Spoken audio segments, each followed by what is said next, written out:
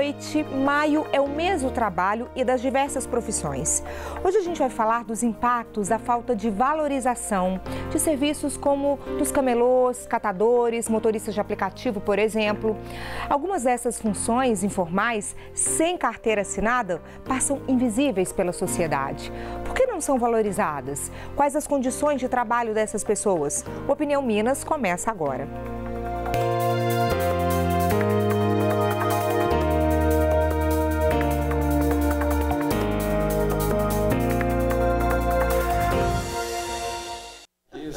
Os dados da Pesquisa Nacional por Amostra de Domicílios, divulgados em janeiro deste ano, revelam que após o primeiro ano do governo Lula, o número de empregados sem carteira assinada é o maior da história.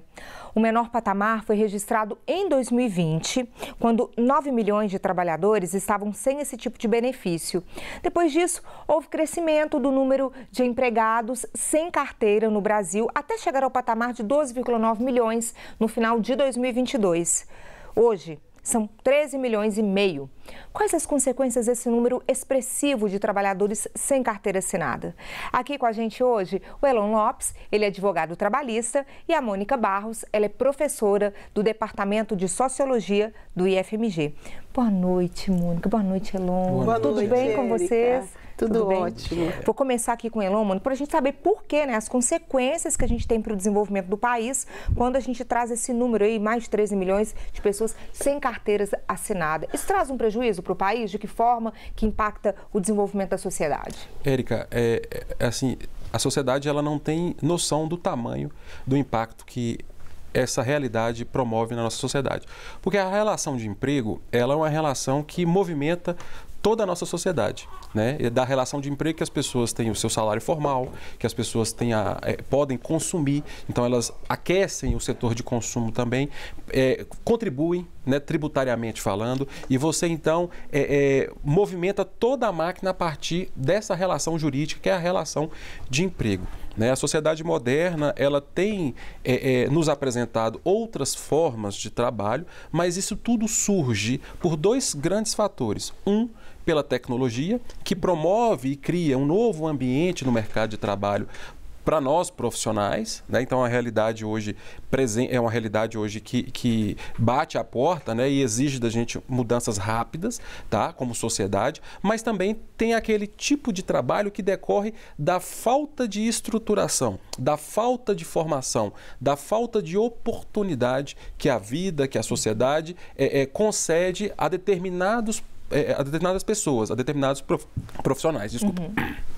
E aí, quando Elon fala isso com a gente, de falta de oportunidades, de formação, de instrução também, a gente sabe muito bem de que a gente está falando, né, Mônica? Exatamente. É, é importante a gente fazer uma distinção entre trabalho e emprego. Né? Trabalho é toda atividade humana né, que, que garante a própria subsistência do indivíduo. Né? Então, é uma série de tarefas que nós fazemos cotidianamente para garantir a nossa sobrevivência, para garantir né, o desenvolvimento né, da sociedade, a manutenção da sociedade. E muito desse trabalho não é reconhecido, não é valorizado. Uhum. E o emprego já é essa relação formal em que há previsibilidade, a previsibilidade da remuneração, que, que garante a estabilidade, um vínculo que, que garante né, direitos, proteção a quem trabalha, porque nós falamos de trabalho, mas temos que falar das trabalhadoras e dos trabalhadores. Sim. Quando não há essa previsibilidade, essa formalização de um vínculo que vai garantir aos indivíduos uma remuneração estável, um vínculo estável, nós temos uma situação que para os grupos que são vulneráveis, né, socioculturalmente na sociedade, esses grupos eles não conseguem reproduzir esse bem-estar, essa garantia garantia da sobrevivência e aí a sua descendência tende a ter um nível maior de vulnerabilidade. É né? Então, os indivíduos, por exemplo, os indivíduos mais pobres na sociedade, se eles não têm esse vínculo formal né, que garanta uma remuneração para a subsistência do seu vínculo familiar, por exemplo, seus filhos não terão acesso a todas as possibilidades da sociedade, por exemplo, a educação, a educação formal, porque são pessoas que, para garantir garantir a sobrevivência, vão ter que fazer a escolha entre continuar estudando né, e, e desenvolver um trabalho remunerado, que pode ser esse vínculo formal, o emprego, né, ou pode ser essas outras formas de remuneração que não têm a proteção social, a garantia é, jurídica. Né? Então é importante a gente observar isso, porque esses grupos, né, eles tendem a reproduzir a situação de vulnerabilidade para a sua descendência. O ciclo vai perpetuando, né? Exatamente, vai... e piorando. E piorando. Exatamente, porque sem o acesso à educação formal, sem o acesso à qualificação, Sim. esses indivíduos só podem almejar postos de trabalho, emprego, que são aqueles empregos, aquelas funções mais desvalorizadas, socialmente e economicamente falando. E veja só, vou compartilhar com vocês outros dados aqui. Seis em cada dez trabalhadores fazem bicos, bicos para sobreviver. Quase 20 milhões de brasileiros sobrevivem fazendo trabalhos extras. Eles representam aí 60% dos informais, que juntos somam 32,5 milhões de brasileiros. 16,1% representam aí os trabalhadores que não não são formalizados por conta do que dos custos implicados ou pela falta de oportunidades. 2,3% são informais por opção, 21,1% são formais frágeis. O que significa formais frágeis? Eles têm CNPJ ou carteira de trabalho assinada, mas com contratos intermitentes, redução dos direitos formais e ameaça de voltar à informalidade total. O perfil do trabalhador informal brasileiro de subsistência é bem definido. Ele é homem, jovem, preto e de baixa escolaridade, como Mônica estava tratando aqui com a gente, trazendo essa análise. Cerca de 75% tem o ensino fundamental incompleto ou inferior. Na faixa etária de 14 a 17 anos, o grupo representa mais de 80%. E nas idades de 18 a 24 anos, os informais de subsistência são 64% do total. Na análise aí por regiões, a presença desse grupo é especialmente expressiva nas regiões Norte e Nordeste. A maioria deles trabalha com serviços ligados então a comércio, reparação de veículos e construção. O que, que falta para a valorização dessas profissões de fato, Elon? É, ô, Érica, a professora, só fazendo um gancho no que a professora Mônica diz, com muita propriedade, é, nós precisamos entender a sociedade, e, e não só a sociedade, mas toda a legislação existente para respaldar os nossos atos, as nossas ações, as nossas relações sociais, é, a partir da Constituição Federal. E eu convido a todos a, a, a a estudar a Constituição Federal a partir do preâmbulo, porque o preâmbulo traz para a gente o um mote do, é, do legislador constituinte à época. E a Constituição ela é envolta de um espírito literalmente protetivo e social. Quando você pega o preâmbulo da Constituição Federal, você vai ver que o legislador lá traz que é uma Constituição cidadã, é uma Constituição que visa é, e prioriza os direitos e as garantias sociais. Né? Aí você passa lá pelo artigo 6 da Constituição Federal, traz a educação, a saúde, o trabalho como garantias sociais. E na sequência você vê ali no artigo 7 falando das garantias dos direitos sociais dos trabalhadores. Né? Aí você tem o Decreto-Lei 5452 de 1943, que é a CLT, e que traz todas as garantias previstas previstas para o emprego, para o empregado. E o que a Mônica disse é muito importante, porque trabalho é o gênero. Todos nós trabalhamos, todos nós somos trabalhadores. Né? É, a, a, a, própria dona de casa é uma trabalhadora, o camelô é um trabalhador, o motorista de aplicativo é um trabalhador. Agora, quando nós falamos de emprego, não. Emprego é a relação formal, é a carteira de trabalho assinada. É dali que você tem a manutenção da Previdência, por exemplo, que é a nossa grande seguradora pública que nos garante em todos os sentidos e cenários né? para o empregado. Então, é dali que, que nasce a, a necessidade da, do, do, do, da contribuição no fundo de garantia, né? o uhum. direito ao seguro-desemprego. Então, essa relação formal, ela está se perdendo, ela está se esvaindo na sociedade. E nós não podemos esquecer que o Brasil é um país pobre. A gente não adianta, não adianta é, é, é, maquiarmos ou criarmos narrativas contrárias. O Brasil é um país pobre, é um país grande, de uma, de uma diferenciação social muito grande. E o vínculo formal, ele tem que ser garantido, ele tem que ser protegido, principalmente porque ele só vai nessas pessoas que necessitam. E é, é a empregada doméstica, é o, o, a, a, diarista, é o, os, os, os, trabalhadores da construção civil. São pessoas que, como a Mônica disse aqui agora, que a vida proporcionou a eles uma, uma é, poucas oportunidades. Né? E isso, é, infelizmente, nós não podemos infelizmente não, felizmente, nós não podemos perder de vista. Nós temos que garantir a esse trabalhador, a essa casta da sociedade todos os privilégios e as garantias que a Constituição assegura, que é direito à saúde, direito à educação, né? direito ao estudo. E esse reconhecimento, essa valorização também, além de passar por essas necessidades, você explicou para a gente desses por que, que é importante se ter a carteira assinada, esse vínculo para o trabalhador, principalmente para os mais frágeis, mas e na sociedade? Como que esse, por que, que esse reconhecimento ainda é tão afetado, tão pouco essa valorização? Porque tem a ver com o caráter do trabalho. O que é que a sociedade valoriza como trabalho?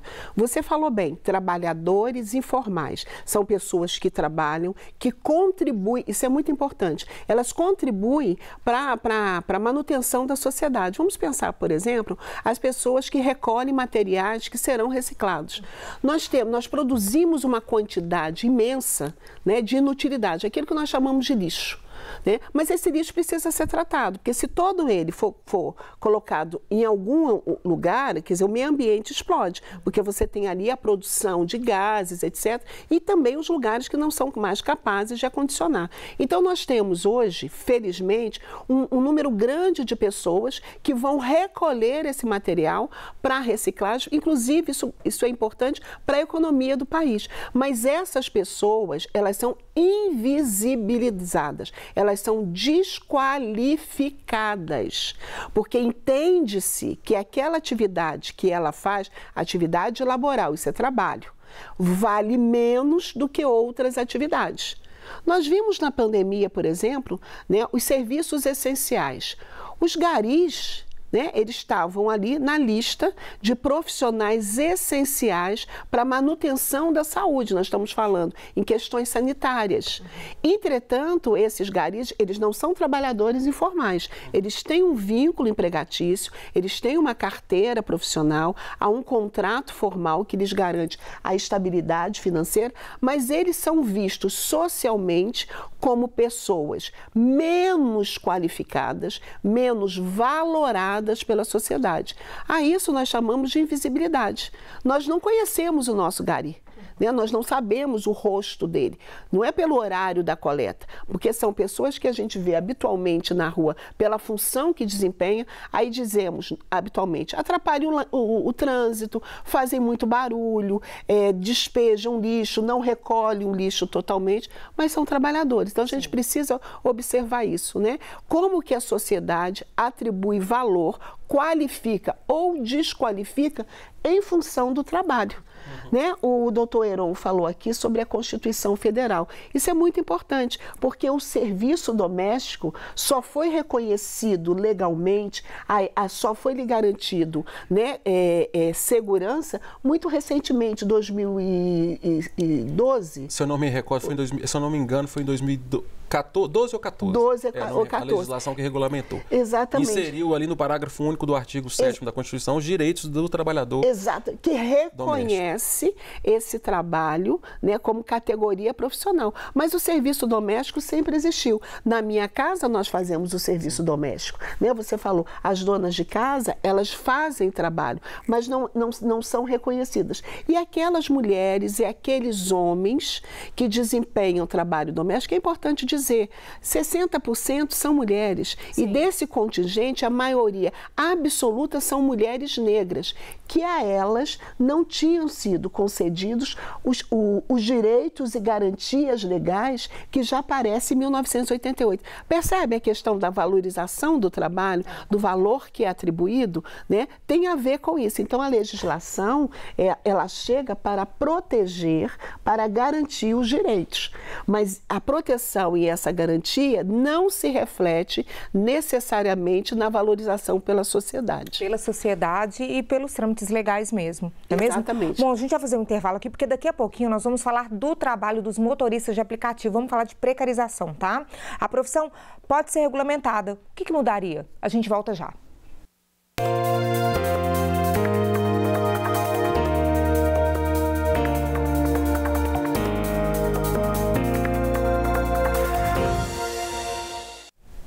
Estamos de volta com Opinião Minas, hoje falando sobre a precariedade de alguns empregos aqui no Brasil. Com a gente aqui o Elon Lopes, ele é advogado trabalhista, e a Mônica Barros, ela é professora do Departamento de Sociologia do IFMG. E eu vou chamar agora para participar com a gente virtualmente também a Simone Almeida. Ela é motorista de aplicativo e presidente do, do Sindicato dos Condutores de Veículos que Utilizam Aplicativos do Estado de Minas Gerais. Boa noite para você, Simone. Tudo bem? Seja muito bem-vindo à Opinião Minas. A gente quer saber de você sobre um histórico dos motoristas de aplicativo, das condições de trabalho que eram sofrendo aí com muita, muita precarização ao longo dos últimos anos. Compartilha para a gente um pouco desse histórico. Olá, tudo bem? Boa, boa noite a todos, né? É, realmente, é, eu sou motorista também por aplicativo desde 2016, entendeu? E de lá para cá teve uma grande mudança. No início, né? Essas plataformas elas cobravam uma taxa fixa, que no caso era 25%, né? Sobre o valor do ganho do motorista. E ao longo desses anos, é, eles mudaram to, todo, todo esse esquema, né? Que seja é, e começaram a cobrar uma taxa variável, que hoje chega até 70, 75% do valor da corrida. Então, nessa época que se cobrava os 25%, realmente é, nós dávamos água, dávamos balinha, né? os motoristas ficavam satisfeitos, os passageiros também ficavam satisfeitos. Por quê? Porque a gente tinha um ganho real. Sim. Hoje, nós temos corrida de 5,87. Como que você liga seu carro com a despesa que você tem, preço de gasolina, combustível e a plataforma ainda, ainda ficar com 75% do valor dessa corrida? É. Então, eu acho assim que foi uma precariedade muito grande de lá para cá. Hoje você pode até ver os carros, né, os veículos hoje, eles estão totalmente sucateados, que é a diferença né, dos veículos de antigamente, que eram veículos bons, veículos bem cuidados, né? Então, assim, de lá para cá teve uma caída é verdade. bem grande em relação a isso. É verdade, Simone. Quem usa os aplicativos, carros de aplicativo, percebe isso aí no dia a dia mesmo. E aí, Elon, essa profissão de motorista de aplicativo, ela não é regulamentada, né? Eles, ainda não. Ainda não é, não. mas a gente tem uma discussão para que ela seja. Em que pé que ela está? É, existe um projeto de lei projeto de lei, é, lei complementar, né, que é a 12 barra de 2024, e esse projeto de lei visa regulamentar essa categoria de trabalho, essa categoria de trabalhador, né? E fazendo a leitura rápida do projeto dessa lei, que certamente será alterada, terá opiniões, né? Será criticada na Câmara dos Deputados, que provavelmente deve votá-la agora dia 12 de junho, se nada mudar dentro do calendário deles. Mas é uma, é uma legislação que, é, que ainda ela não. uma proposta de legislação que ainda não atende nem aos interesses do motorista e nem aos interesses da Uber. Não, eu falo Uber por conta do, do movimento que é a uberização, mas nós sabemos que existem outros Vários tipos outros. de empresa, né? A 99, o InDrive, etc. Então, o que, que acontece? É, é, essas empresas elas não estão ainda 100% satisfeitas com o que está sendo proposto e o motorista do, do aplicativo também não, né?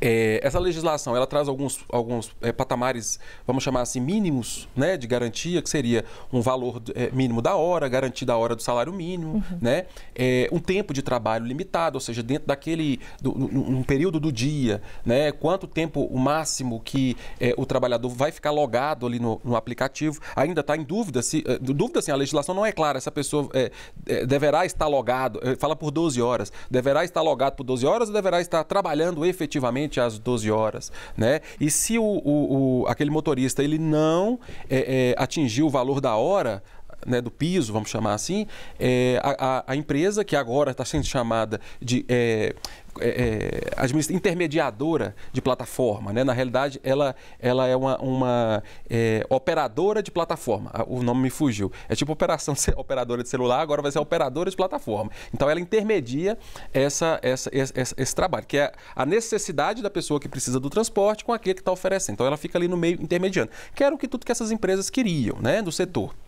É, e a, a, o, o, que a lei está trazendo, que aí é, pega um pouco do que nós estamos falando, é justamente a necessidade de garantir né, àquele motorista é, é, patamares mínimos, seguranças mínimas e também ao consumidor.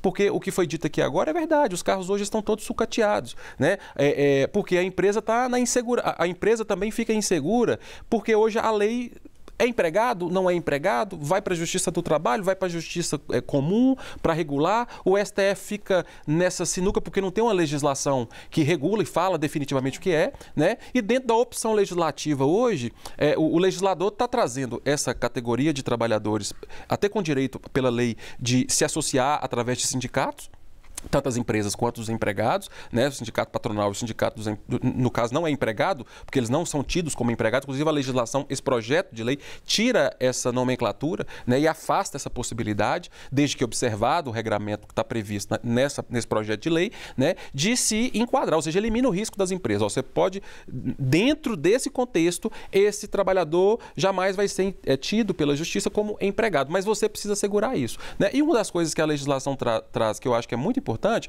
o, a, o projeto de lei traz que é muito importante, é assegurar às empresas a necessidade de dar treinamento, de dar é, é, benefícios fiscais, fiscais, não, financeiros, sem que isso possa enquadrar como salário, né? sem como pode enquadrar aquela pessoa como empregado. Simone, vocês participam das discussões sobre esse projeto de lei, sobre essa regulamentação da profissão. O que, que ainda falta para esse projeto? Não disse aqui para a gente que não é, ele não atende satisfatoriamente nem ao lado dos motoristas, nem da, da, das próprias empresas. Ô, ô, Érica, esse projeto de lei, o que, que nós vemos como isso? Ele vem, nós vemos como uma abertura muito grande, porque essas empresas estão no Brasil há 10 anos e até hoje, assim, é, é, elas mandam, elas mandam, desmandam, fazem, fazem o que bem querem aqui no Brasil. Então, é, esse projeto de lei não é perfeito, mas ele está trazendo o quê? A criação da categoria. Porque uhum. até hoje, o momento, nós não temos condições de ir lá brigar pelo motorista. É, o, o, motorista, ele, ele, né, eles falam que ele é é microempreendedor, mas ele não é microempreendedor, ele não põe preço no trabalho dele, é. ele é mandado embora da plataforma, ele é, ele é desligado da plataforma sem uma ampla defesa. Então, assim, são diversas coisas, né? Nós, no início, quando a gente sentou na mesa de negociação junto com o governo e plataforma, nós queríamos que fosse CLT. Mas o próprio motorista falou, não, eu quero ser autônomo. Mas essa autonomia que ele quer não dá direitos nenhum para ele, para eles, né? Então, na PL, realmente, ela é muito básica, mas nós já estamos trazendo, nós, nós estamos vindo com 12 emendas, que inclusive coloca KM tempo. É, a, outra coisa muito importante na PL hoje, a Seguridade Social. Porque o INSS vai ser obrigatório. É, esses mesmos trabalhadores que hoje dizem ser microempreendedores, 90% deles estão endividados por MEI porque eles entraram para ser MEI e não pagaram o MEI, entendeu? E a partir do momento que ele, que ele seja enquadrado no INSS obrigatório, isso vai ser maravilhoso. Eu mesmo tenho vários motoristas, pais de famílias que morreram durante a pandemia, morreram agora recente também, e que não pagavam INSS. Outros é. que sofreram acidentes, as, as famílias ficaram totalmente é, é, desamparadas. Deriva, né? Sem, é. Isso, sem nenhuma condição. É. Então, assim, eu vejo nessa regulamentação isso que nós vamos passar a existir. Hoje a gente bate na porta do governo, bate em qualquer lugar, nós não somos nada, nós não somos ninguém. Uhum. O motorista por aplicativo, até agora, ele não existe. E realmente, como o doutor falou aí, né, já passou por duas comissões, está faltando a última comissão agora, que é o é, CNJ, né, se não me engano, doutor? Isso. CCJ, né? Isso. Que é a última, CCJ, a, a última comissão e ela deve ser votada agora a partir dia 12. E a, ah, representa um avanço, como você está dizendo, né, Simone? Só de ter essa regulamentação, os outros passos, as outras discussões, elas vão vindo e os outros ganhos também com o tempo, com lutas, com essas discussões juntas todos à mesa. Bom, e essa Mônica, a gente falou muito no primeiro bloco sobre informalidade, a característica das pessoas é, que estão na informalidade ou nesses trabalhos que não são valorizados. A gente falou de escolaridade, de formação dessas pessoas. Nesse caso, o motorista de aplicativo a gente tem aí uma forma um pouco diferenciada, porque não são só pessoas sem escolaridade que estão hoje no uso da plataforma. Não, nós temos um contingente de jovens, de pessoas que estão ali na faixa dos 30 anos, né, 28, 30 anos, que são pessoas que concluíram o ensino superior, muitas delas conseguiram um vínculo de trabalho, vínculo formal, né, mas que perderam esse vínculo, ao perder esse vínculo, não conseguiram se inserir no mercado de trabalho. Então, nós temos um contingente de pessoas formadas em engenharia, formadas em direito, é, é, várias, várias pessoas que fizeram licenciatura são professores e professores, nós, ou seja, são aquelas, é, muitas delas, muitas é, profissões em que as pessoas poderiam trabalhar sem um vínculo formal, trabalhar por contrato, mas aí a gente tem um contexto do país. Né? O que, que é isso? Nós passamos por dois anos de de epidemia, um período mais, mais, mais forte de restrição né, das atividades laborais, essas pessoas perderam o trabalho, né, não conseguiram se inserir. E é muito importante o que a Simone fala, porque nós estamos falando de precarização do trabalho e precarização da e do trabalhador. Né? Então, quando a Simone fala da legislação que reconhece quem está trabalhando com aplicativos como categoria profissional, isso é um passo importante né, para romper esse ciclo de precarização. Mas nós não podemos é, desconsiderar que isso não resolve o problema, né? porque essa forma de remuneração do trabalho, sem que você reconheça o outro como seu empregador, aquele responsável responsável né, pela garantia, pelo cumprimento da legislação, que vai dar garantia, uhum. né, isso ainda está dentro de um contexto de precarização. É um início de mudança, na é verdade. Um início é um início de mudança, de mudança. Que, que nos permite pensar nessa, nessa ruptura. É né? é mas precisamos É o primeiro avançar. passo, mas é ele precisa passo. ser dado, não é, é, mesmo? Simone, muito obrigada pela participação aqui com a gente. Uma boa noite para você. Eu que agradeço. Boa noite. Boa noite. Tchau, tchau. Professora Mônica, muito obrigada pela participação. Muito obrigada pela participação aqui com a gente. Uma Eu boa noite para vocês. Para é, todos nós, é, né? Uma ótima noite. Isso aí. E obrigada a você também pela companhia. Uma ótima noite. Amanhã eu te espero às oito em ponto. Tchau, tchau.